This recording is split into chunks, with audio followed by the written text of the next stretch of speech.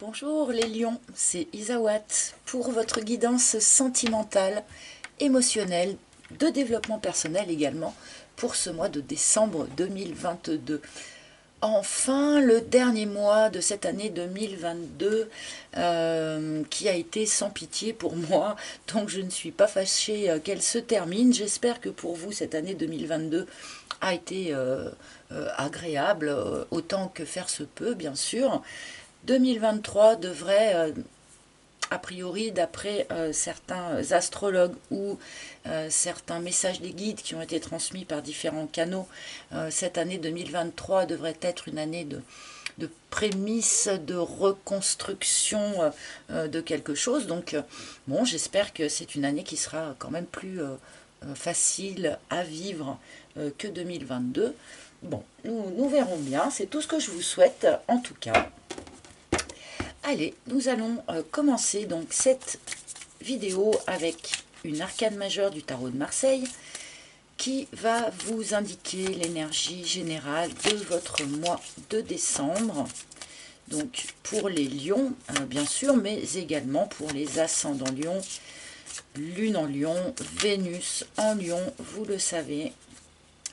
Donc quelle énergie générale pour les lions, bah, c'est celle-ci. Ouais. Vous allez être content, vous avez la route fortune. Alors, vous êtes les premiers hein, à avoir euh, cette énergie-là en énergie générale. Hein, euh. donc, une énergie vraiment euh, extrêmement dynamique. Hein. La roue tourne, a priori, pour les lions sur ce mois de décembre. Donc, peut-être qu'une situation qui était bloquée euh, se débloque. Euh, peut-être que des choses que vous attendiez depuis un moment euh, eh bien, arrivent enfin.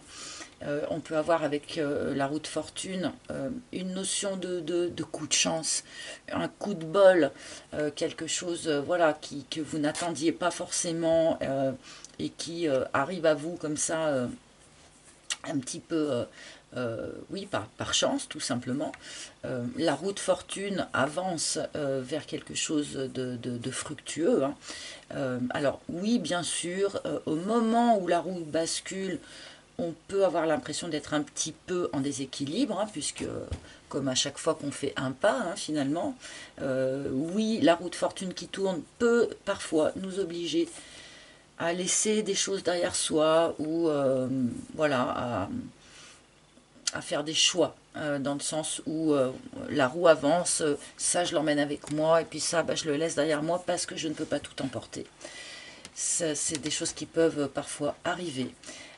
mais on est quand même globalement ici avec cette roue de fortune dans des, énergies hyper dynamiques, hyper positives. on peut avoir un bon coup de chance aussi du point de vue financier, hein, avec la roue de fortune aussi, ne l'oublions pas. Peut-être que ça va être le bon mois euh, pour euh, parier, pour jouer, je ne sais pas. Enfin, c'est pas le genre de conseil que je peux donner habituellement, mais enfin.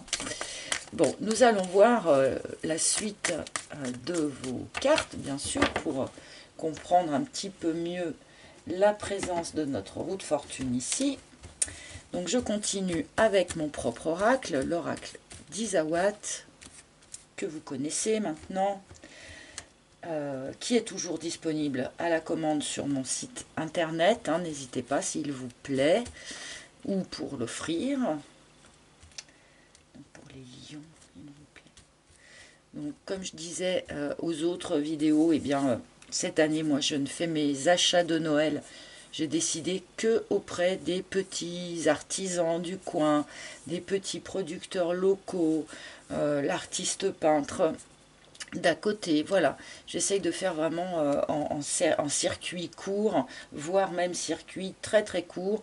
Et en plus, c'est utile parce que, vous voyez, par exemple, j'ai acheté ce magnifique petit bracelet d'aventurine tressé euh, et ben, j'ai appris que quelqu'un euh, fait de la lithothérapie juste à côté de chez moi dans le village d'à côté et je ne le savais pas donc en plus ça crée du lien et c'est utile voilà c'était mon petit message. Allez, je me recentre un petit peu sur les lions. Pour décembre 2022, pour les lions, s'il vous plaît, les lions. par là. Les lions, décembre 2022, s'il vous plaît. Et celle-ci qui veut venir. Voilà, une première ligne pour les lions et c'est parti. Wow ah, ah bah ça commence un petit peu hot pour vous, euh, ce tirage, puisqu'on nous parle de Kundalini.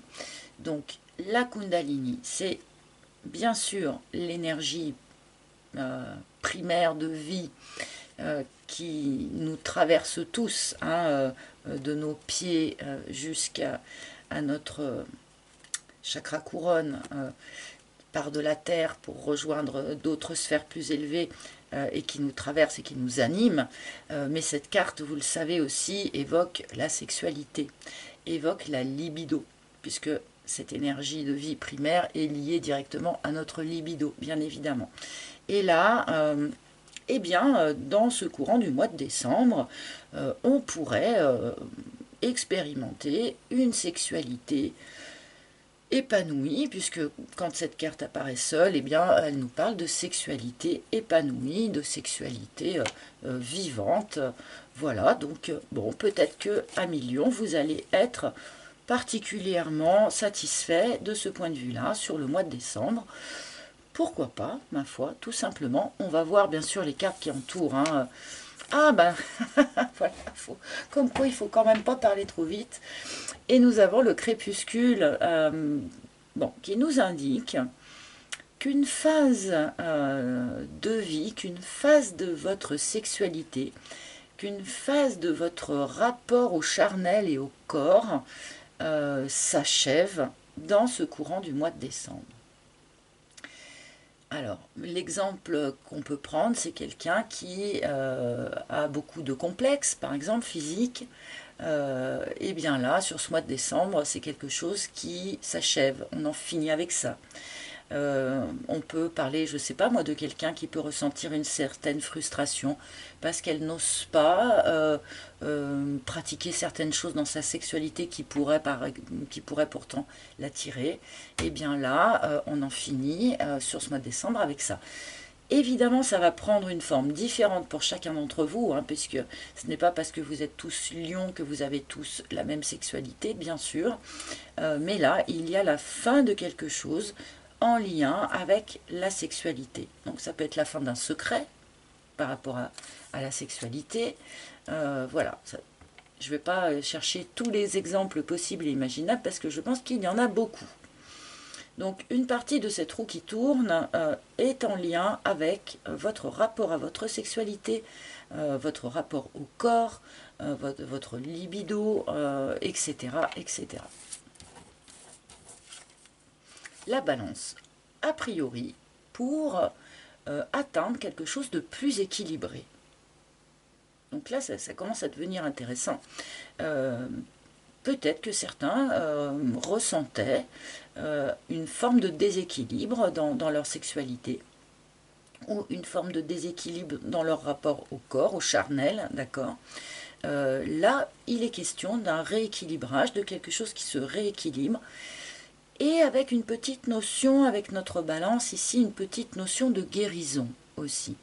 Donc peut-être, voilà, que certains d'entre vous avaient euh, des limites ou des difficultés euh, euh, ou des frustrations en lien avec la sexualité. Et là, sur ce mois de décembre, visiblement, il y a quelque chose qui bouge, quelque chose qui se modifie et qui semble a priori se rééquilibrer.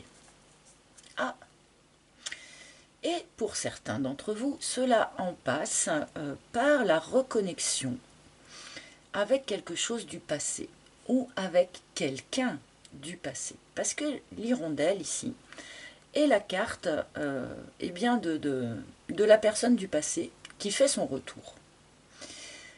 Peut-être qu'un certain nombre d'entre vous attendiez euh, le retour de quelqu'un. Et sur ce mois de décembre, ici, on pourrait avoir euh, une reprise de contact, une reconnexion. Vous savez, l'hirondelle revient toujours à son nid, d'accord Et là, sur ce mois de décembre, Évidemment, ça ne sera pas valable pour tout le monde. Hein. Déjà, tout le monde n'est pas forcément en attente euh, du retour de quelqu'un. Euh, et ceux qui sont en attente du retour de quelqu'un tous ne verront pas au même moment la personne revenir euh, pour tous les lions de la planète, on est d'accord. Mais en tout cas pour un certain nombre d'entre vous sur ce mois de décembre, euh, eh bien on peut ici euh, aller vers une forme de rééquilibrage sensuel, je vais dire ça comme ça. la fin peut-être d'une frustration hein, pour de bons charnels euh, parce que la personne nous manquait énormément, c'est pas impossible. Hein. Euh, et là, voilà, il y a a priori pour certains d'entre vous le retour de cette personne qui permet de rééquilibrer quelque chose.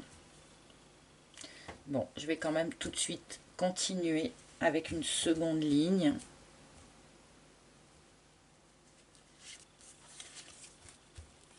Le cadre,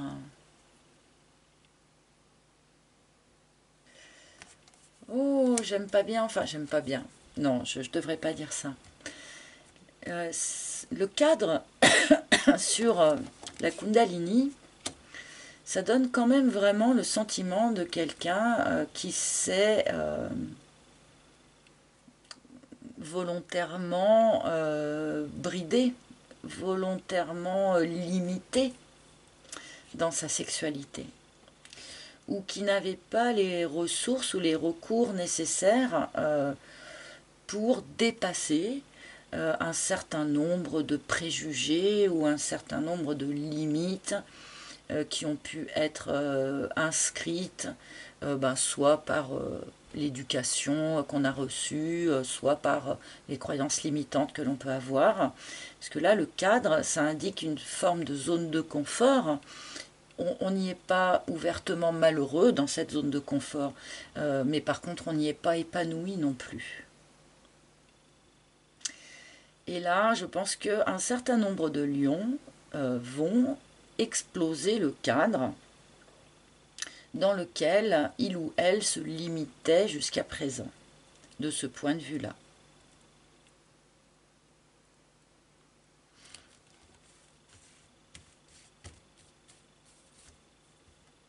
Alors pour ceux qui sont en couple ici, euh, les couples de longue date par exemple qui ont tendance peut-être à s'endormir un petit peu euh, avec au fur et à mesure du temps qui passe, d'accord? Euh, Là on peut vous dire qu'il pourrait être utile pour exploser ce cadre limitant justement de faire appel aux souvenirs du passé.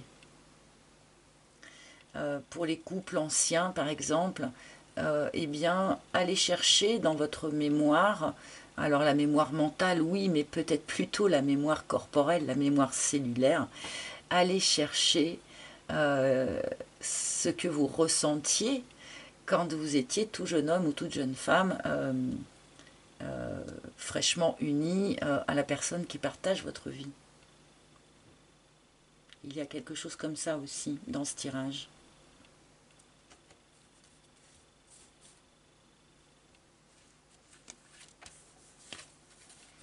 Le chat. Bon, il y, a vraiment cette notion euh, qui se renforce hein, en fait au fur et à mesure des cartes. Hein. Euh, peut-être de lions euh, qui se sont un petit peu endormis, hein, comme je disais à l'instant. finalement, on était confortable, on était dans sa zone de confort, on était serein, on était tranquille. mais à force d'être confortable, et eh bien finalement, euh, euh, ça devait commencer à manquer un petit peu de, vie, quoi, d'ardeur, d'air frais, de nouvelles émotions, de nouvelles expériences. Euh, il y a besoin comme ça de réanimer quelque chose chez vous. Enfin, je pense que dans le courant du mois de décembre, justement, il y a quelque chose qui se réanime chez vous. donc, encore une fois, en lien avec euh, la libido, hein, en lien avec euh, tout ça. Euh, quelque chose qui se réanime sur ce mois de décembre. Il y avait besoin hein, de, venir réanimer ça. De revenir au moins à l'équilibre par rapport à ça. Donc chez certains, cette réanimation, entre guillemets, va en passer par le retour du passé, hein. que ce soit une personne, comme je disais, ou peut-être faire appel à ses souvenirs de, des débuts de relation, tout ça, ça peut aider quand on est déjà dans une relation stable. Bon, là, ce tirage s'adresse à, ceux qui sont en couple, comme aux célibataires. Hein. Et s'adresse bien sûr particulièrement aux personnes qui sont célibataires parce que il y a un ex ici euh, dont on espérait peut-être le retour.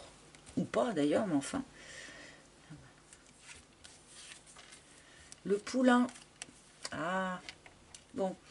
Alors, cette, euh, cet endormissement euh, de la libido, de la sexualité, tout ça peut avoir trouvé sa source suite à la naissance d'un enfant, hein, suite à une grossesse et à la naissance d'un enfant.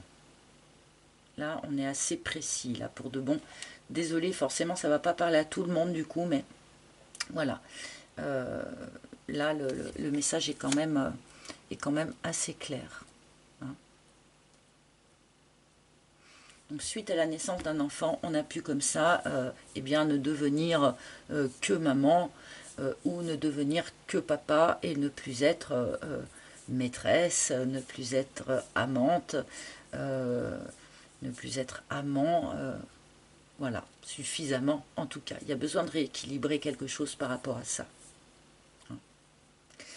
Et encore une fois, on fait aussi appel à cette notion de euh, aller chercher euh, euh, la jeunesse qui est en vous, aller chercher.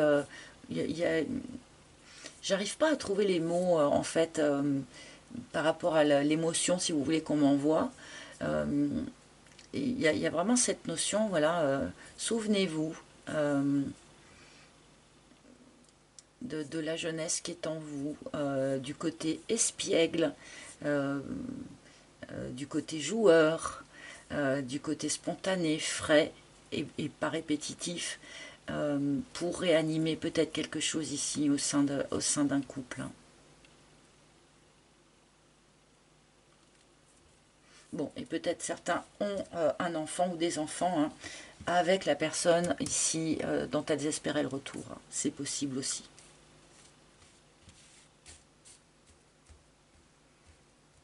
Mais là, je sens bien les, papas et les mamans hein, euh, eh ben, qui, se sont endormis en fait du point de vue euh, érotique. Euh. parce que c'est vrai que quand on a des enfants, bah, c'est très prenant et puis, et puis on a plus, on a moins le temps à la bagatelle et ce genre de choses, ça, ça peut se comprendre.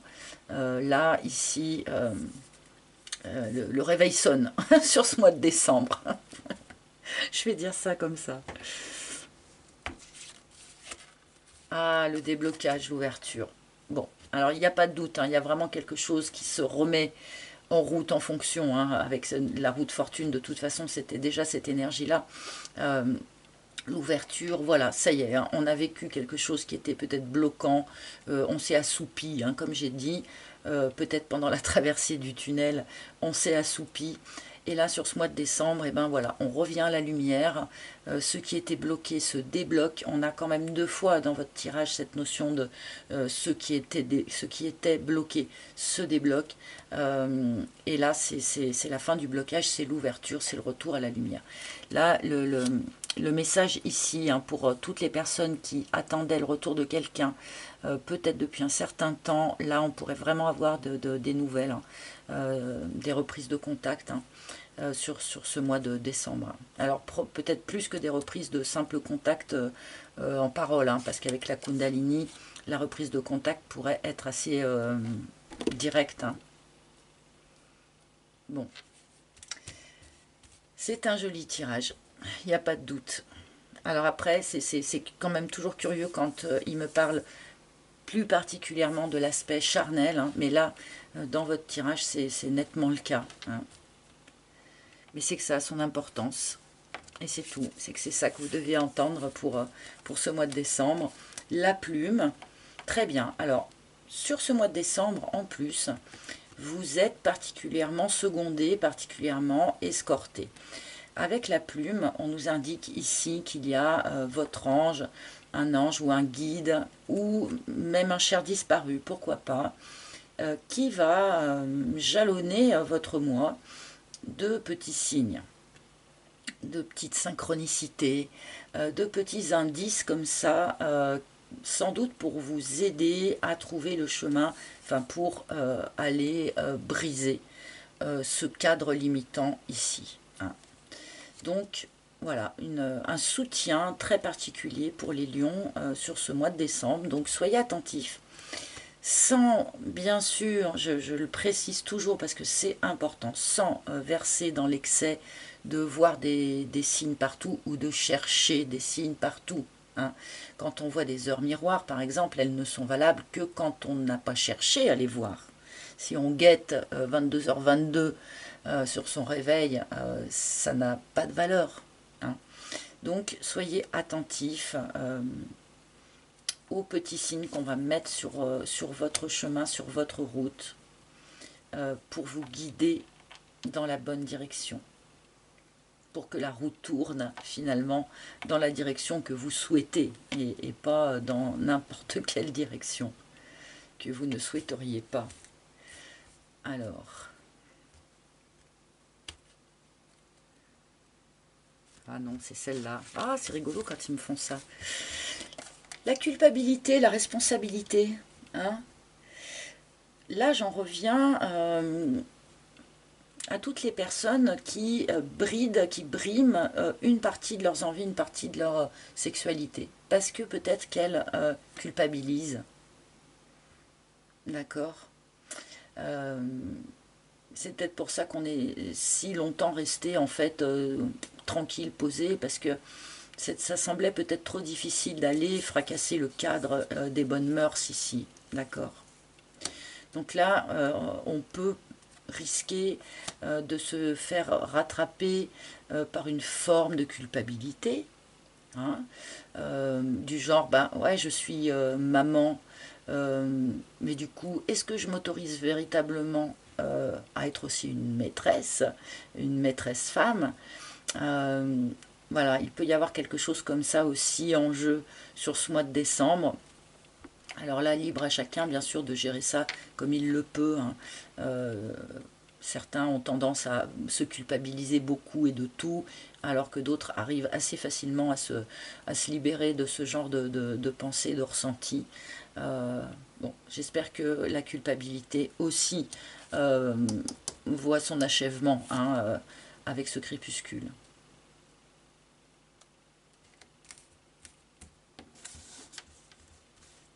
Et ceux qui suivent les signes aussi, pardon, ceux qui suivent aussi les signes, ne, culpabilisez pas.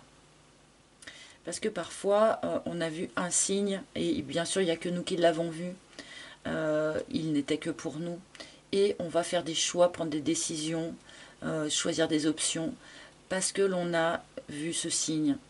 Et du coup, pour l'entourage, par exemple, on peut sembler complètement neuneux parce qu'ils euh, ne comprennent pas pourquoi on a choisi cette option-là. Parce que nous, on a eu le signe qui nous permet de savoir que c'est ça qu'il faut qu'on choisisse, mais les autres ne, peuvent pas forcément le comprendre. Et du coup, on peut aussi ressentir une forme de culpabilité par rapport à ça. Euh, donc là, attention à ça, pour ceux à qui ça parle. Hein. Attention à ce genre de, pensée limitante. Hein.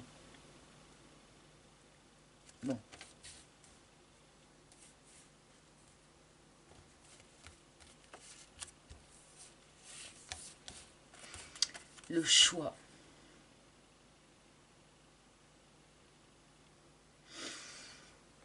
Toute, euh, toute l'opération dont on nous parle ici, ce n'est pas forcément quelque chose euh, qui va se faire naturellement tout seul.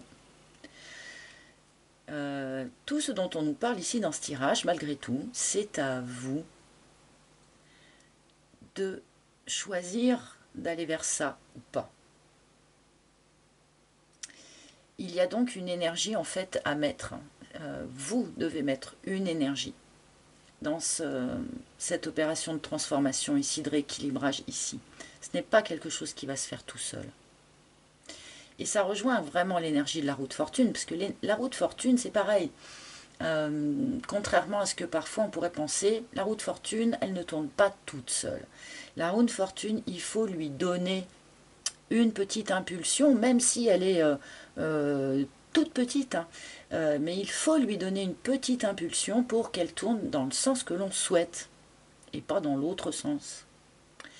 Et là, il y a un petit peu cette notion avec cette carte du choix qui arrive en fin de tirage. Là, on nous indique quand même eh bien, que c'est à vous hein, euh, de, choisir, euh, voilà, d'en finir avec euh, ce cadre restreignant, d'en finir avec le fait d'être un peu endormi sur, sur vos lauriers quelque part, et d'en finir avec une forme de responsabilité aussi, de culpabilité aussi.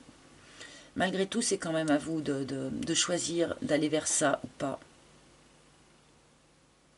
Et pour ceux qui verront euh, le retour d'une personne du passé dans leur vie, parce que là c'est quand même bien présent, hein, euh, de la même manière, ça va aussi euh, être à vous hein, de, dire oui ou de dire non. On n'est pas toujours obligé d'accepter le retour d'une personne du passé même si elle nous évoque euh, des euh, émotions plutôt euh, agréables ici.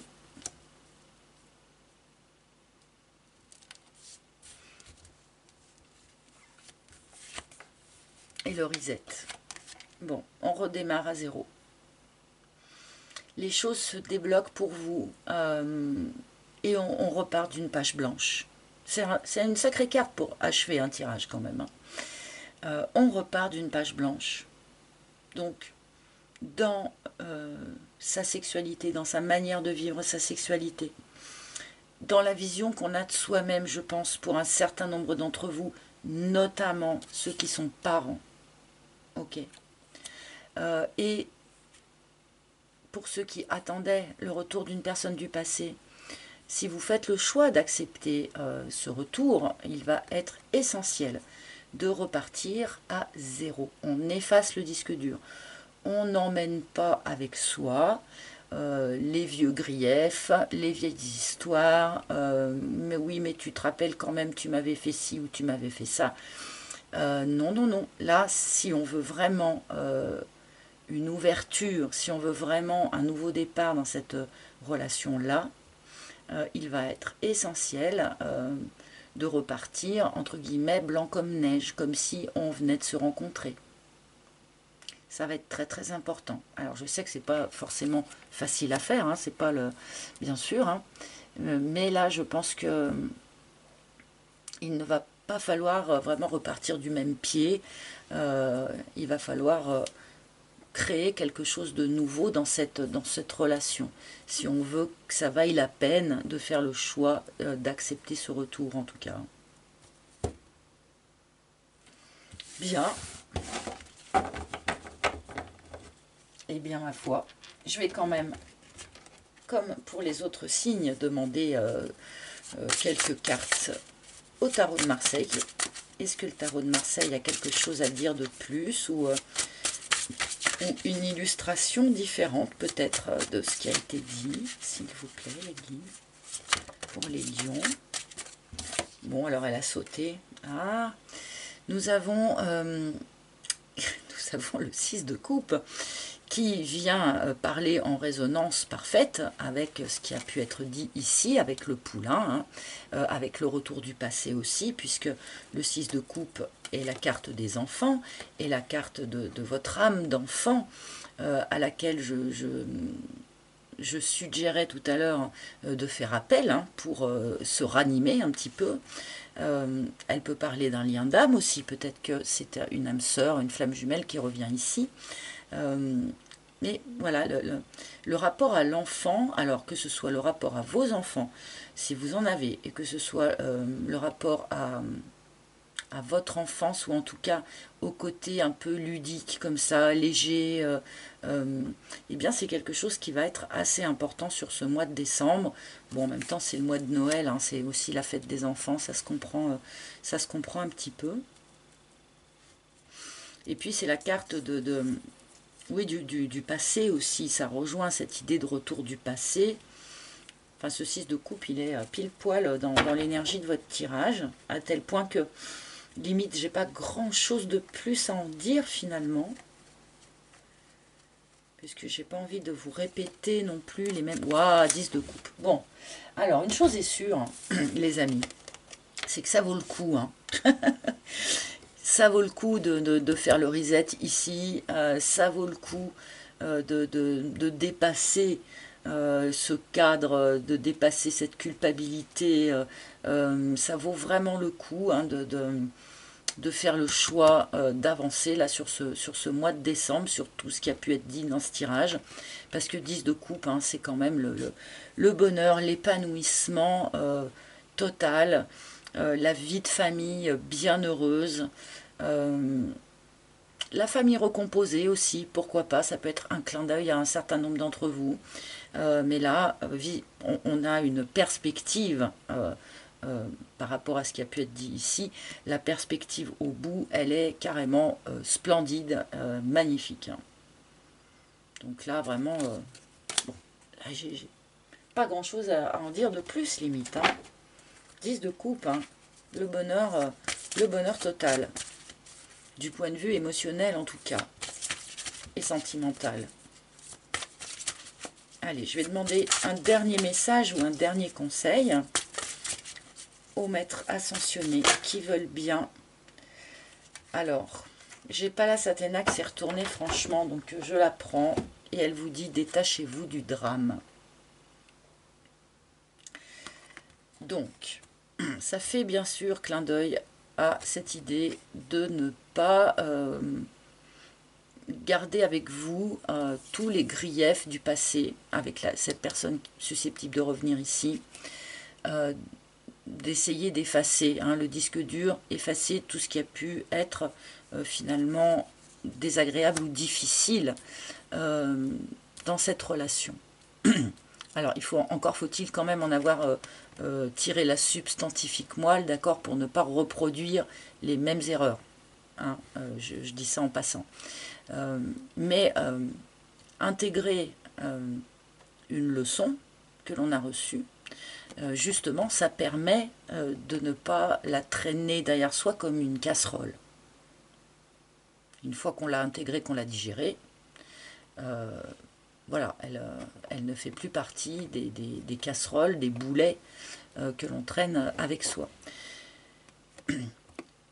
Et d'autre part, cette idée de, je ne sais pas, de drame, moi, ça me rappelle quand même un petit peu à cette idée de responsabilité, de culpabilité peut-être par rapport à ses enfants, euh, peut-être par rapport euh, euh, à la vie sexuelle dont on, a, dont on aurait envie, hein, et qui pourrait peut-être n'être pas complètement dans les clous de notre société, par exemple, je ne sais pas.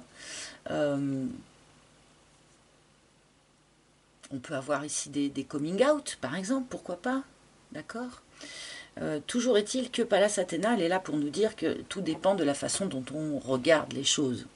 Hein. Si on regarde les choses comme euh, une grande difficulté à surmonter, quelque chose de compliqué, euh, de difficile, eh bien on va le traverser comme ça.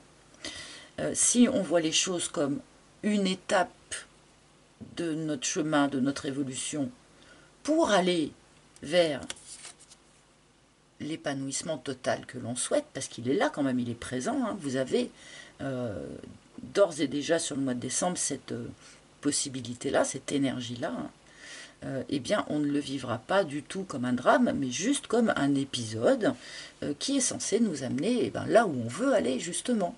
Même si l'étape à traverser est moins confortable que d'autres qu'on a pu traverser tout dépend de la manière euh, dont on regarde ce que l'on vit, ce que l'on traverse. Et, euh, eh bien, Pallas Athéna, elle est là pour, pour vous rappeler ça. Hein. Tout dépend du regard que vous posez sur les choses.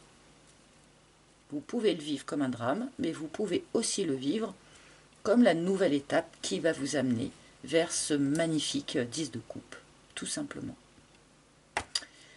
Voilà les amis, j'espère que ce tirage aura parlé à un maximum d'entre vous. N'hésitez pas euh, à consulter les tirages de vos signes ascendants, lunaires, enfin de vos autres signes si vous le souhaitez.